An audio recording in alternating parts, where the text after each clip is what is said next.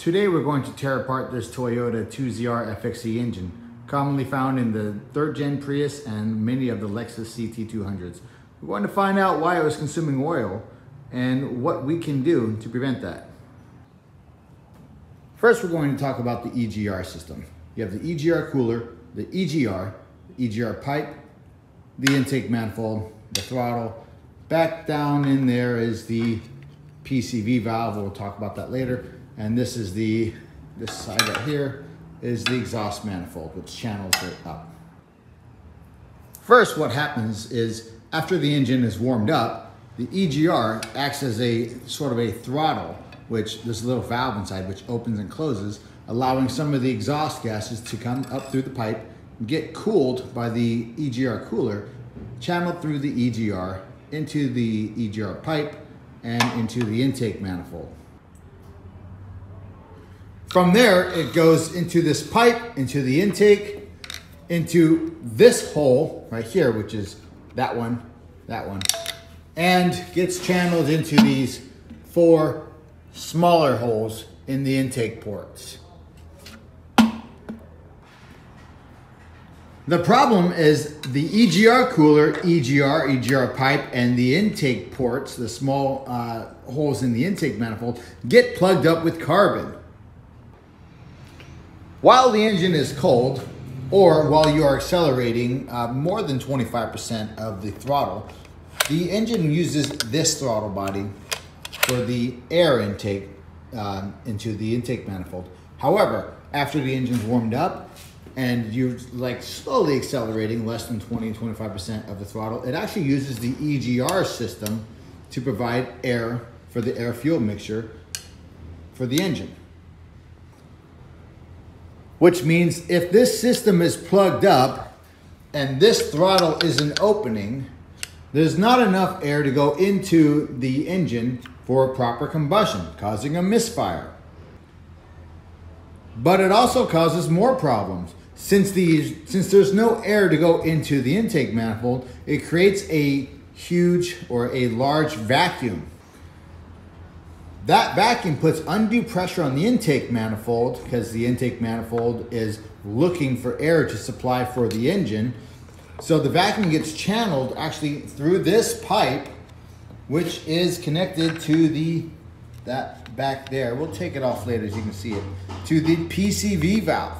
So too much vacuum sucks oil out of the PCV valve, channels it into the intake manifold and into the engine, causing you to burn oil. So we're going to tear this apart and show you exactly what happened.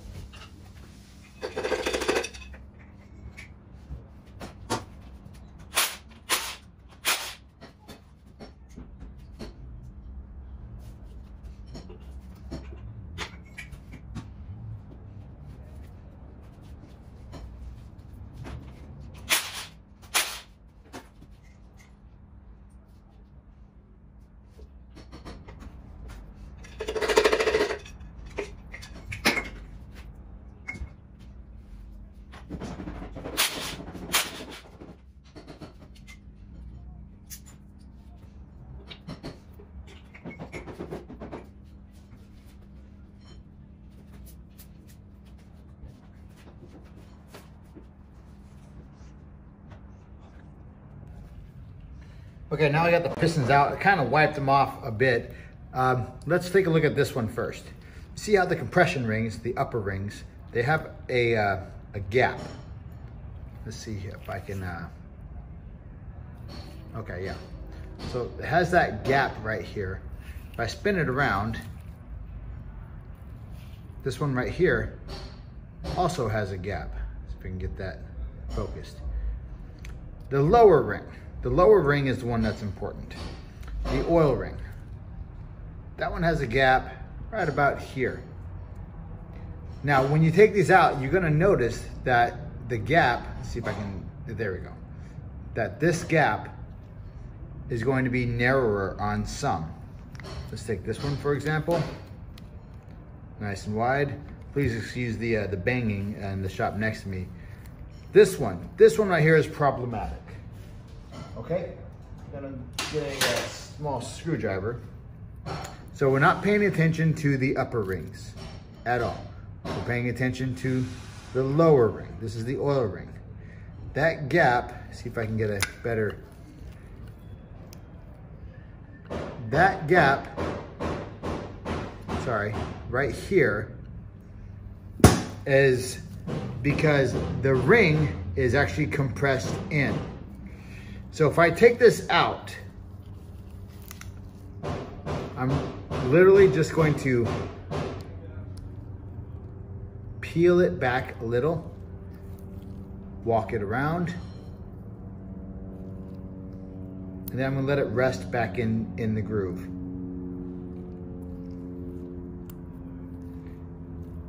What I did, I just now opened up that gap. Now, what caused that gap in the first place, let me take this ring out completely.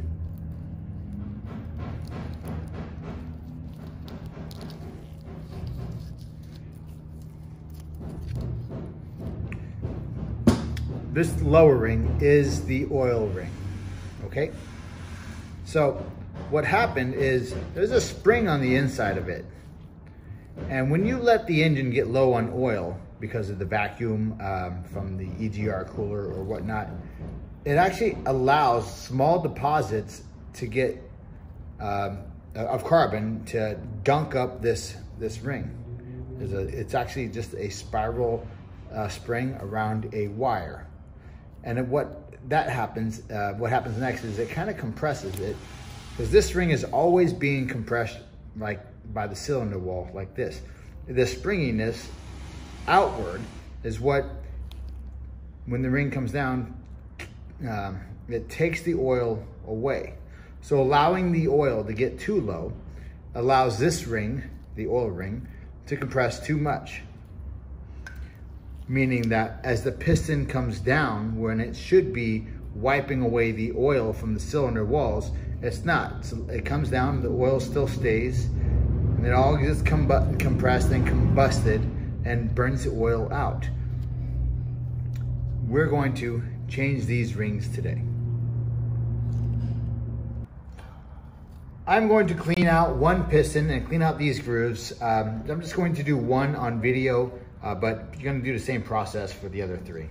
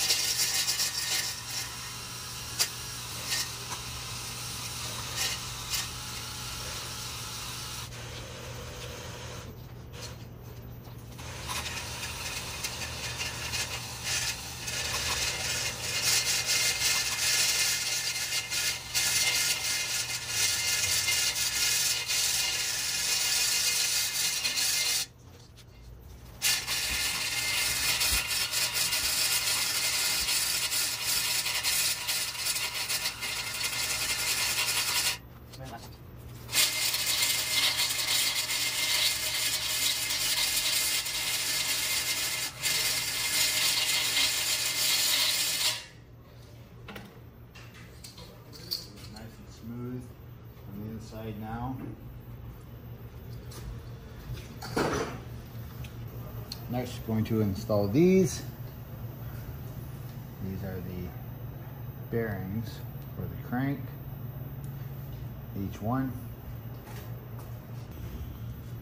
Now that those are in, can't forget these guys facing out, the ridges facing out. There's only one spot it'll go. This one and that one. A little bit of oil.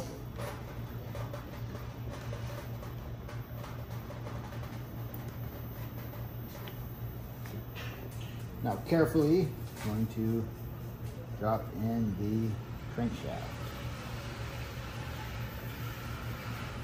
Nice. A little more oil.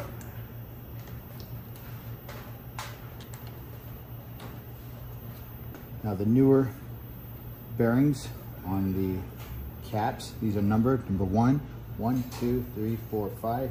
They'll be numbered. Numbers going this way. You can read the numbers uh, from standing on this end. I'm going to drop those down. But they're all in, you're gonna torque them down to spec. All these 12.14 millimeter sockets. Torque them all down to spec.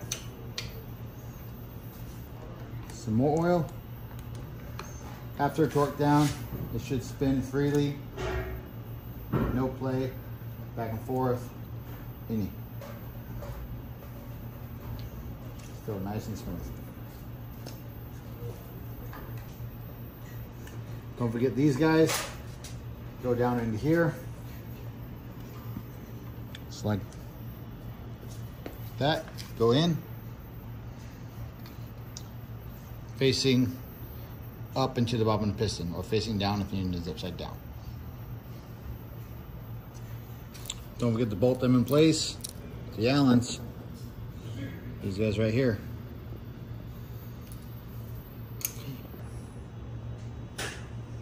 Pop on the rod bearings. Piston rings from the DNJ, domestic and Japanese.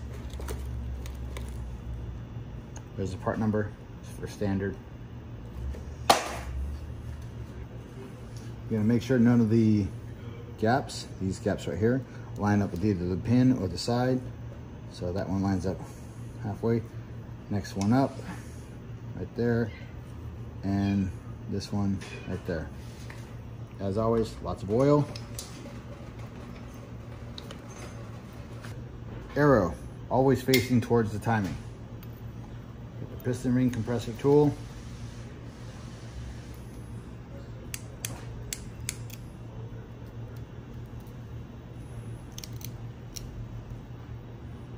Make sure the piston that you're putting down, the crankshaft is down. Okay. If it doesn't go easy, then something's wrong.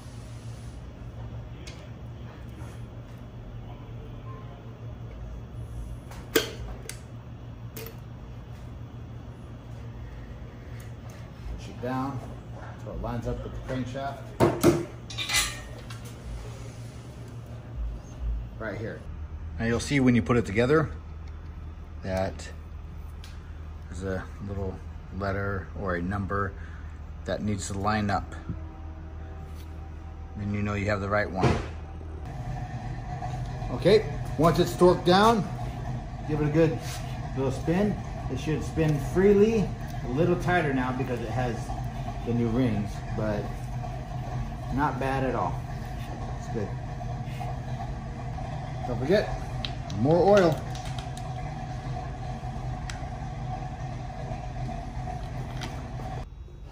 silicone. Ultra black, oil resistant. Okay, silicone's on. Bolt it together. This piece. Letters facing out, the lip facing out, that direction. This side's flat. It's going in first. This is what the crank position sensor reads at flat spot. Next, this one, side with the dot facing out. There. Two yellow links, equally spaced, so it doesn't matter which way you go. One dot there, the other dot here. This piece is symmetrical. We're going to line up the dot. Like that, with the yellow link.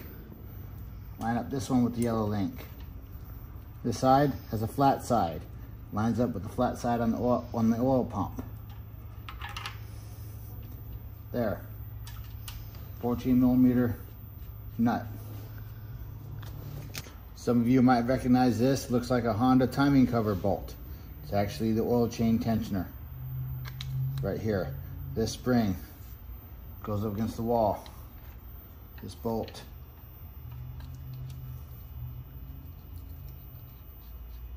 Screws into there. You want to impact this. If I were to turn this, it will cause this to swing. If I use an impact gun, this might break. Putting a large socket behind it.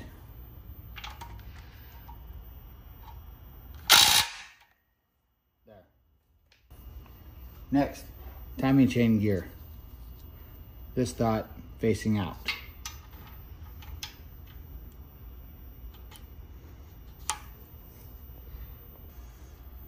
O-ring. The rest is covered with the cylinder head and the timing video. But this one will no longer consume oil.